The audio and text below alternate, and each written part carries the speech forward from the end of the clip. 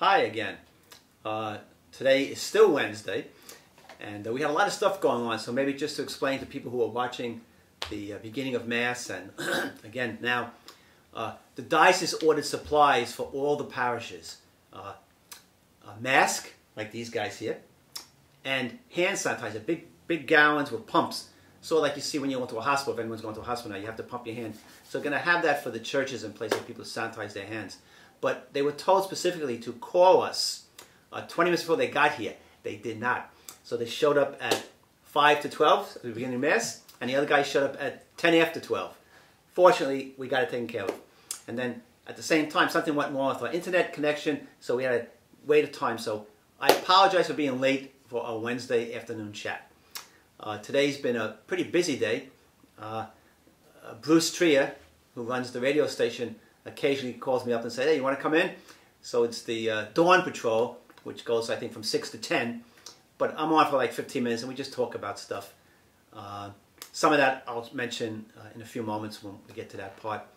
Um, and everything else is, is going pretty well here in the parish. We got a lot of information which you will get in the next mailing that we send out. Uh, it's also going to be uh, online. It's in the bulletin online. You can get it online on the bulletin. Uh, and we're probably going to put an ad in the local paper to explain what's happening and what's going on. Uh, a lot of people uh, may not read their mail. people may not look online for the bulletin. And one of the things is that we were asking for, we sent a letter to every registered parishioner to get email and phone, text, so we could do mass announcements. Uh, at this point, we have less than 200 returns out of uh, 1,620 households. So I plead with you, please, if you haven't, please send that to us because it will really make it easier to us to get information out to you about what's going on. Uh, since we've been hearing so much about the uh, the uh, epidemic and the Spanish flu epidemic in 1980, 19, uh, 1918 to 1920. I thought I'd just look it up, and this is just sharing some information about it then. It seems that in that epidemic, uh, about 500 million people throughout the world were affected by it, which was one third of the world's population, which is tremendous. Today, uh, in the United States, they think, uh, well, in the United States then, probably 675,000 people died from the uh, Spanish flu. Uh, today, uh, is just a guess about how many cases there are in the United States, but the number of deaths is 84,000. And the Spanish flu, the, uh, the symptoms of the Spanish flu were sweating, uh, sore throat, uh, vomiting, and eventually people got pneumonia. That's, what, that's the final thing that they died from. the, the the Spanish flu, it got its name not because it came from Spain originally. The reason it's called the Spanish flu, at least this is the reason that's given, is that it was it broke at the end of the uh, First World War, and most of the countries still had uh, great censorship on their on their news, on their radios, on their uh, on their uh, newspapers.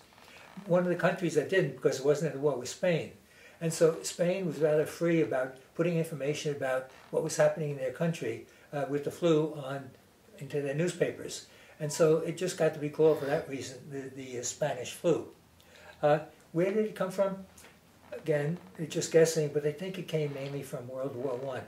That there were millions of young men who were living in these terrible conditions in the trenches with the mud and the dirt, the filth, uh, all the things that were there living close together, and that they uh, they picked up these these germs and passed them on to one another. And when they went back home, they began to spread the disease back home again. And the uh, striking thing about it was is that the Spanish flu especially attracted, hit young young people, uh, people between 20 and into their 30s. Uh, not so much the older people, except if you're over 65 and baby and children under under five. And as far as remedies, there weren't many. Doctors didn't know what to do with it. In fact, most of the doctors were at war, so that the uh, flu was being tended by medical students and nurses. And uh, the only kind of real recommendations they could give, recommendations they could give were what we're doing today, to keep away from one another, to wear a mask, social, social uh, distance, and isolation.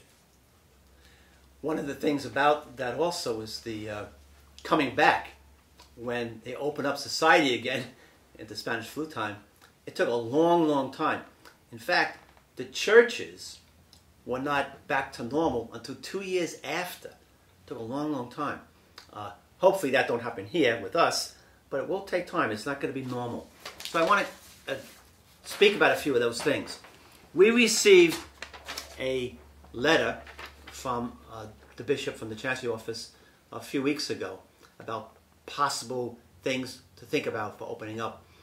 And most of what all the bishops in the country are doing, there's a thing called the Thomistic Institute.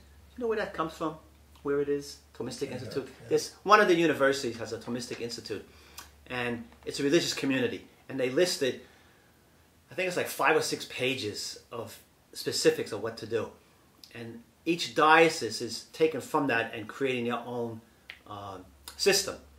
Some dioceses change the percentage of people that can go in.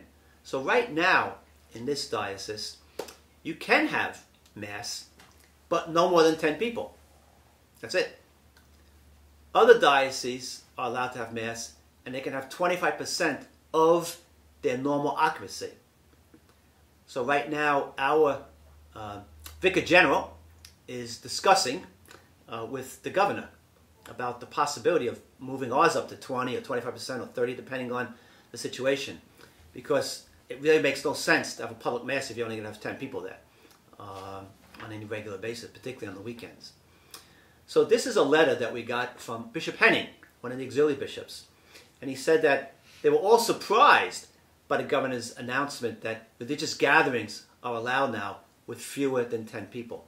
And they were surprised also that the governor mentioned outdoor uh, masses in cars, people in their cars. So we don't know how that's going to work. Uh, our church has been open from day one for personal prayer. And as always, we have signs, we told people no more than 10 people are allowed in church. And that's been pretty good. Uh, the bishop goes over, I go over, we look. Uh, there are people there every day. So in fact, every once in a while, some people actually sleep there. Um, but there's never been more than 10. Sometimes a whole family will come in. Uh, three or four of them will kneel up front and pray. And that's great to see. Um, the sacrament of penance has always been available, but now it's available for everybody, not just for serious sins, for anything. But at this point, we still need people to call, make an appointment. Uh, we really can't have scheduled ones because of the lines and the room that we have. It's not appropriate with the spacing. Uh, hopefully, we can work around that in the future. The anointing of the sick has always been available, is still available. Anyone seriously ill can always ask for that sacrament. Something new funeral masses, weddings, and baptisms with immediate family, no more than 10 people are allowed. So it's the new 10 person rule um, funeral, weddings, and baptisms. So if you want to get married, you can always call, make an appointment. If you want your child baptized, call up and we can arrange for that. If you want a funeral, don't arrange for that. Don't die, stay healthy. Uh, until further notice, though, Holy Communion is not allowed to be distributed, even when we have a funeral or wedding. We don't know when that's going to happen.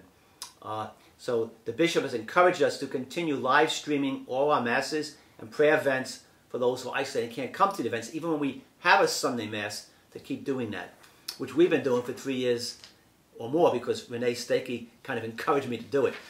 Some people say she forced me to. This is what the Bishop Henning would like us to say, and I'm going to read it. The decisions taken in March to restrict parish activities and liturgies were guided by concern for the common good and the protection of the vulnerable. The decisions that we've taken to resume worship and activities will be guided by that same concern for the common good and protection of the vulnerable. During the lockdown, our parish has provided burial prayers and outreach to bereaved families. Right now, we are relieved to resume the celebration of funeral masses for immediate family members. The same with baptism and weddings for small groups. We look forward to resuming weekday and Sunday masses. We respectfully ask for the patience of parishioners for the faithful, as we seek to do so with prudence and the same concern for the common good. So, the big question is how would we handle uh, weekend masses? Uh, if we have a 25% capacity, we're going to have to work, struggle. If they allow 30%, we have no problem because our church seats 550 and we never get more than 200 pretty much at any of the masses. And with this happening now, a lot of elderly people and the people of sick or vulnerable won't be coming. So we will not have a problem with that. Our problem will be uh, the mass at night where there are 700 people. So we're going to have to either have different masses, other times, mass in two places at the same time, different celebrants, but then we don't have the parking for that. So we have to figure that out. So I ask you to pray for us as we talk about that and try to figure that out. We may also have to stagger the mass times to allow time for cleaning in, be in between, which means Sunday morning mass, we may only have two and not three. All of these are ideas we have to discuss and figure out when we get the uh, directives. We do have already, because I ordered them myself, we have uh, actually, uh, Teresa ordered them for me. We have uh, a couple of uh, quarts of spray uh, disinfectant. It's called the 301 or 103. It's used in the universities in the area. And you spray it on this fiber cloth, microfiber, and you wipe it. And that's all you have to do. You don't have to scrub it. You don't have to wait an hour. So we have enough of that to get to two, two weekends. And uh, then we have to buy more.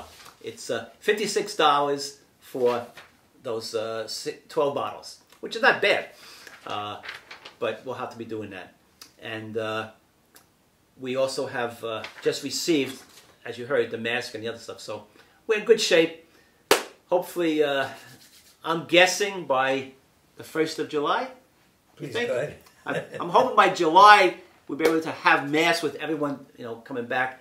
And hopefully soon after that, we'll be able to also uh, offer communion at the mass, everybody. Thank you. I tried also to, to get some uh, information about what was happening locally during the uh, Spanish flu. Uh, not too much. Uh, at the time, there were three military encampments on Long Island. There was Camp Mills in Garden City, Camp Upton, of course, in Yaphank, now Brookhaven National Laboratory, and uh, Camp Wikoff out in Montauk, which was a naval air station. And uh, the information said that there were uh, 40,000, there could be 40,000 soldiers spread in those, those places, and that there were field hospitals at, at Garden City and at Camp Upton and that on one day in October 1918, there were a thousand young men in one of the field hospitals.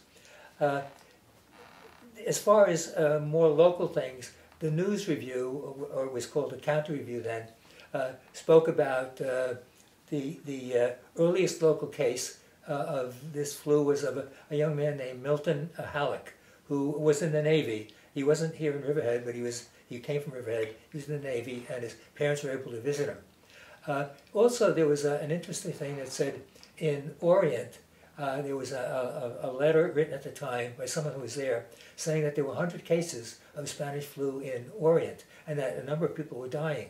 Now, that's interesting because uh, looking in Newsday today, the combination of people between uh, Orient and East Marion who have uh, this virus is uh, 28. So I don't know whether the population was greater then or just that more people uh, we're, we're, getting it that the uh, even small number of people was spreading very far. Uh, I they were recommending then uh, besides the, the social distancing and so on, they were recommending a gargle. And the gargle was uh, salt, baking soda, and uh, water. And then to gargle three times a day with that. So whether it worked or not, you don't know. And finally, on a kind of a lighter note, uh, of course, one of the great music writers from America was Irving Berlin. Uh, we, we heard, he wrote hundreds of songs. We heard one of them a lot of times last week uh, for uh, Memorial Day, God Bless America. And if things had been okay in Easter, we would have heard another one, Easter Parade. But he wrote a lot of songs.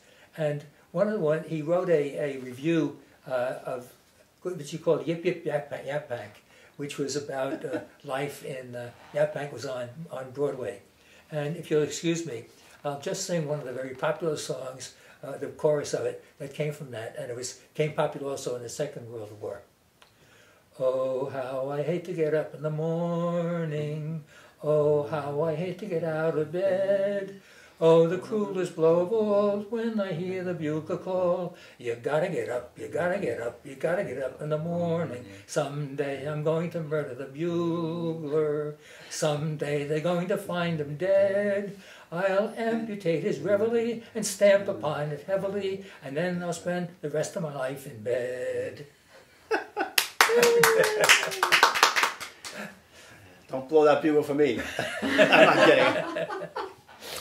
Well, listen, if you have any uh, concerns, questions, you can always uh, email us at the Parish email or you can uh, do on Facebook, uh, send us some uh, stuff. Have a wonderful day. May God bless.